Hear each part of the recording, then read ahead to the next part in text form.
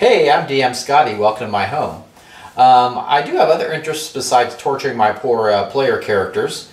Um, I uh, like to do some painting and other crafts, and I wanted to show you an interesting room I created in my home. Uh, follow me, come on. I want to introduce you to my favorite guest room. Uh, we call it the fairy tale room. And uh, let's enter. On this wall I have uh, my water maiden. Uh, this is a mural I painted and I'll pan down so you can see it. She's dissolving into a pool of water. Um, I was really going for the old school fairy tale look and um, what I did with these murals is I painted them on um, thin uh, board um, like a plywood board and that way I can remove them from the walls, remove them around if I like. My next mural is a fairly large mural. Um, like I said, I was really going for the old school look. Um, and, you know, with old school fairy tales, you know, they're not the Disney happy, happy tales. You know, uh, they're more complex and um, more interesting, in my opinion. And uh, the art uh, is, you know, more interesting. Um, also, um, you know, fairy tales, kind of like Galadriel said, fairy tales are beautiful and um, terrible like the morning and the night. So that's what I was kind of going for uh, with this mural. And uh, we'll move on to the next one. On this mural, I was going for a very old school witch, um, not the standard witch that you see you know, in every Halloween store. Um, so I gave her a huge bonnet and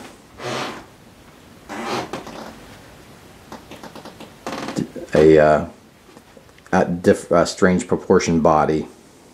As we pan down, you can see she's captured a fairy and she's using it to light her way as she wanders through this field of nettles.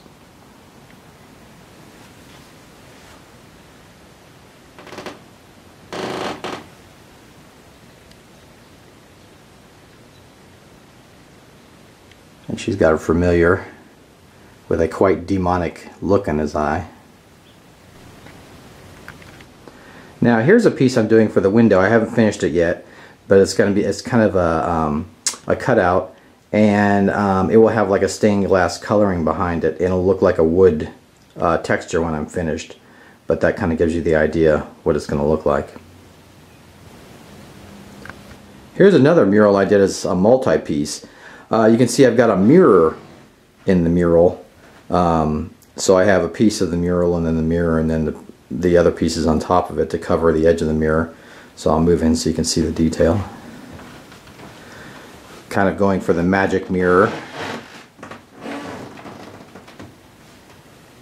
And then her hair streams down. And I've got a strange minion creature on the bottom there. This dresser is a pride and joy of mine. Uh, it's a dresser I repurposed. Um, everything you see on the dresser has been painted, even the uh, wood detail. So I'm going to move up to the top so you can see the design. Uh, it's kind of arch with a star in the center. This was inspired by World of Warcraft. Um, so you'll see the uh, iconography on here. And as I move down to the first drawer, um, my uh, fiance's character, Mundia. So she was a night elf, of course. And then you have the standard of the night elves. And I've got my character. His name was Sarantine. He was a hunter. So put those on the front. I also painted the dresser poles So those were just wooden dresser poles that I painted myself. Uh, now on one side of the dresser I have the flag for the Night Elves, their banner, and then I'll go to the other side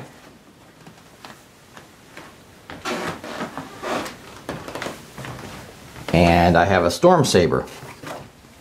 So, kind of neat. So, that's one piece I did. And we'll move on to the centerpiece of the room.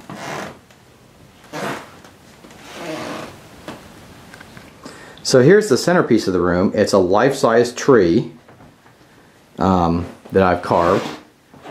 And um, it has three shelves in it. It reaches all the way from the from the floor to the ceiling.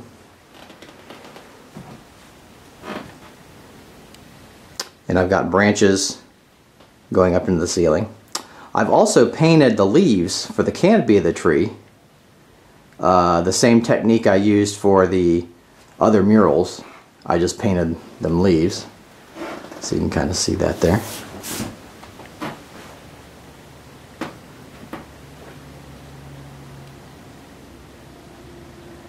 And now I'll show you some more.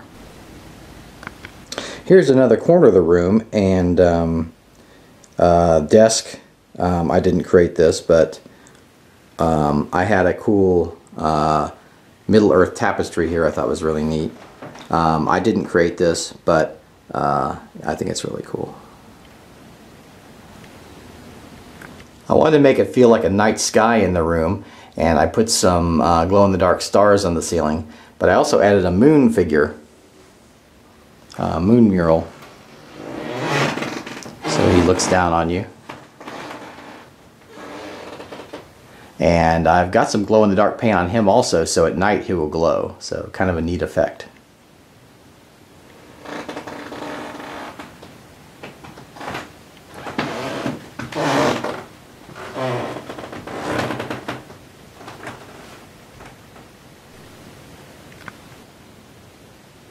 One last detail I have in the guest bedroom is a sleeping dragon rug, which I thought was pretty neat. Uh, really fits in with the room. And uh, I hope you enjoyed the tour, and uh, I'll see you soon.